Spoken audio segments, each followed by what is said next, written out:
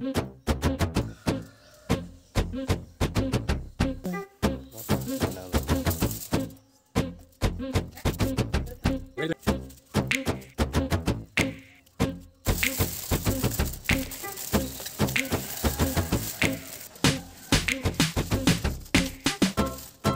Friends എന്തൊക്കെയുണ്ട് വിശേഷം? സുഖം തന്നെയല്ലേ?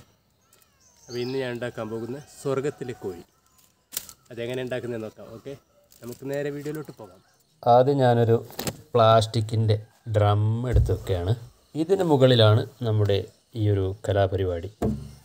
കോഴിയെ നന്നായിട്ട് പൊതിയാൻ വേണ്ടി ആദ്യം കുറച്ച് അലുമിനിയം ഫോയിൽ എടുക്കുകയാണ്. ഇതിനായി ഞാനിവിടെ ഒരു ഒന്ന് എഴുന്നൂറ് ഗ്രാം തൂക്കം വരുന്ന ഒരു മുഴുവൻ കോഴി എടുത്തിട്ടുണ്ട്. അതേപോലെ ഇഞ്ചി കുരുമുളക് പച്ചമുളക് വെളുത്തുള്ളിയൊക്കെ ചതച്ചരച്ച് ഇവിടെ വെച്ചിട്ടുണ്ട്. പിന്നെ കാശ്മീർ മുളക് പൊടി മഞ്ഞൾപ്പൊടി ഒരു മുട്ട ഒക്കെ ഇവിടെ വെച്ചിട്ടുണ്ട്. ആദ്യം ഞാൻ ഈ കോഴിയെ ഒന്ന് നന്നായി കുത്തി പരിക്കേൽപ്പിക്കുകയാണ്. എല്ലാ ഭാഗത്തും ഇതേപോലെ കത്തി കൊണ്ടൊന്ന് കുത്തി കൊടുക്കാം. ശേഷം ഇതിനാവശ്യമായ മസാല തയ്യാറാക്കാം. ചതച്ച് വെച്ച മസാല ആദ്യം ഇട്ട് കൊടുക്കുകയാണ്. ശേഷം കാശ്മീർ മുളക് പൊടി ഇട്ട് കൊടുക്കാം. നിങ്ങൾക്ക് എങ്ങനെയാണോ മസാല ആവശ്യം അതേപോലെ ചെയ്താൽ മതി. നിങ്ങളുടെ എരിവൊക്കെ നിങ്ങളുടെ ആവശ്യത്തിനനുസരിച്ച് ഇട്ടാൽ മതി. കുറച്ച് മഞ്ഞൾപ്പൊടി ചേർക്കുകയാണ്. ശേഷം പാകത്തിന് ഉപ്പ് ചേർത്ത് കൊടുക്കുകയാണ്. ഇതെല്ലാം കൂടി നന്നായി ഒന്ന് മിക്സ് ചെയ്തെടുക്കാം. വെള്ളം ചേർക്കാതെയാണ് മസാല എല്ലാം മിക്സ് ചെയ്യുന്നത്. ശേഷം ഈ കോഴിയുടെ അകത്തും പുറത്തും മസാല ഒന്നായിട്ട് നമുക്ക് തേച്ച് പിടിപ്പിക്കാം. ശേഷം ഒരു കോഴിമുട്ട ഇതിന്റെ അകത്തോട്ടിട്ട് കൊടുക്കുകയാണ്. കോഴിമുട്ട നിർബന്ധമൊന്നുമില്ല കേട്ടോ. പക്ഷേ ഇവിടെ ഇപ്പോൾ ഏതായാലും സ്ഥലം കാലിയാണല്ലോ അകത്ത്. അങ്ങനെ ഒരു മുട്ട ഇതിനകത്തോട്ട് ഞാൻ ഇട്ട് കൊടുത്തതാണ്. കോഴിയെ പൊതിയാനായി വാട്ടിയെടുത്ത വാഴയിലെടുക്കാം. മസാലയ്ക്ക് തേച്ച് സുന്ദരിയായിരിക്കുന്ന കോഴിയെ ഇതിന് മുകളിൽ കിടത്താം. ശേഷം ഇതിനെ നന്നായി ചുറ്റിയെടുക്കുകയാണ്. എന്നിട്ട് വാഴന്റെ തന്നെ കയറുകൊണ്ട് ഒരു കെട്ടും കൂടി കെട്ടാം. ശേഷം അലുമിനിയം ഫോയിൽ കൊണ്ട് ഇതിനെ ചുറ്റിയെടുക്കുകയാണ്. എന്നിട്ട് ഈ കോഴിയെ മൂന്ന് മണിക്കൂർ ഫ്രിഡ്ജിൽ വെക്കുകയാണ്. അതിനുശേഷം വീണ്ടും ഡ്രമ്മിന് മുകളിൽ അലുമിനിയം ഫോയിൽ വിരിക്കാം. ശേഷം വീണ്ടും കുറച്ച് വാഴയിലിട്ട് കൊടുക്കുകയാണ്. കോഴി പൊതിയാനായിട്ടുള്ള മണ്ണ് ഇവിടെ റെഡി ആയിട്ടുണ്ട്. ഈ ഒരു മണ്ണിനെ ഡ്രമ്മിന്റെ മുകളിൽ പത്തിരി പോലെ പരത്തി കൊടുക്കാം. ശേഷം ഫ്രിഡ്ജിൽ നിന്നും കൊണ്ടുവന്ന കോഴിയെ ഈ ഒരു മണ്ണ് പത്തിരിയുടെ മുകളിൽ കിടത്തുകയാണ്.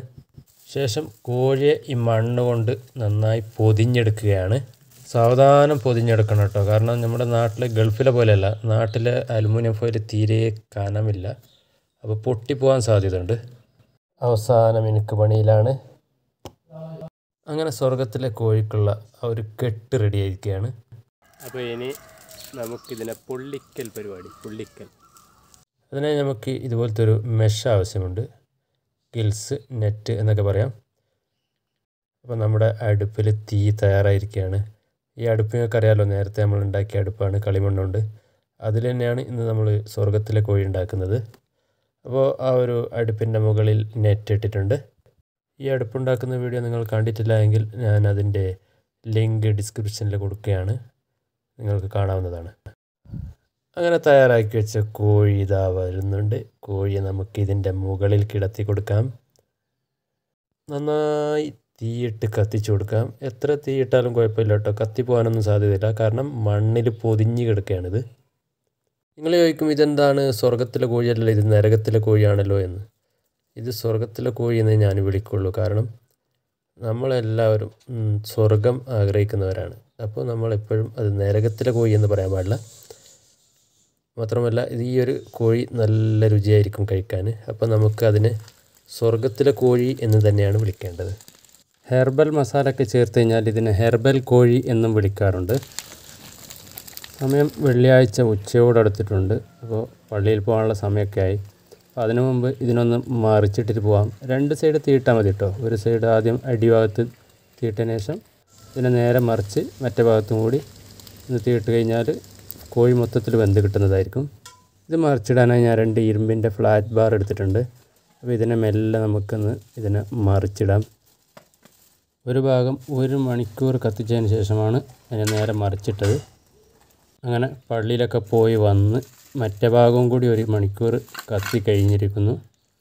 ഇനി നമുക്ക് ഇതിന്റെ അകത്ത് എന്താണ് അവസ്ഥ എന്നുള്ളത് തുറന്ന് നോക്കാം.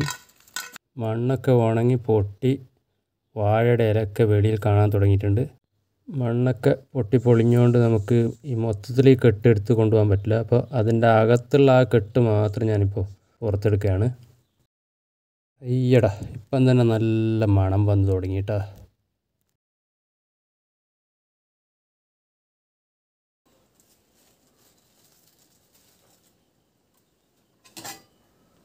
അപ്പോൾ കണ്ടില്ലേ ഇതൊക്കെയാണ് അതിന്റെ ബാക്കി അവശിഷ്ടങ്ങളൊക്കെ.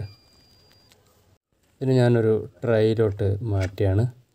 അങ്ങനെ നമ്മുടെ സ്വർഗത്തിന്റെ കോഴി ഇതാ ഓപ്പൺ ചെയ്യുകയാണ്.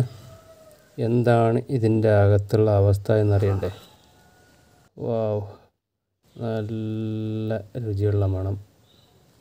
നന്നായി വെന്തിട്ടുണ്ട് കേട്ടോ ഇതാ കാൽ പൊക്കുമ്പോൾ തന്നെ അങ്ങോട്ട് കാണാൻ നേരം സോഫ്റ്റായി കാണുന്നുണ്ടല്ലോ.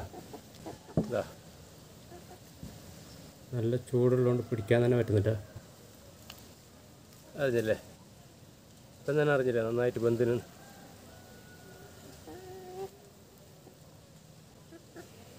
ഓക്കെ. ഇതിന്റെ അകത്തുള്ള മുട്ടയുടെ അവസ്ഥ എന്താണെന്നുള്ളത് നോക്കാം.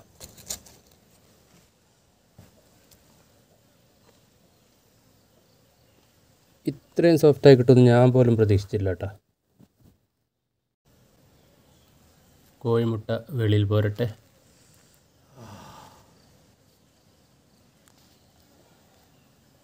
മുട്ട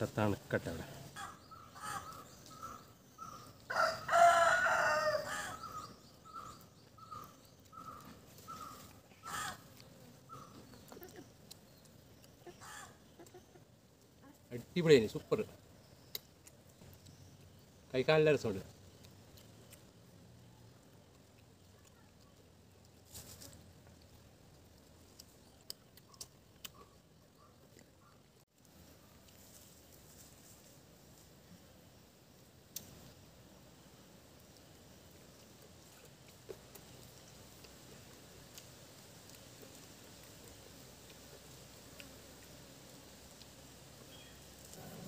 Super super super. അടുത്ത മുട്ട തിന്നൽ പരിപാടിയാണ്. മുട്ടയും നന്നായിട്ട് വെന്തിട്ടുണ്ട്.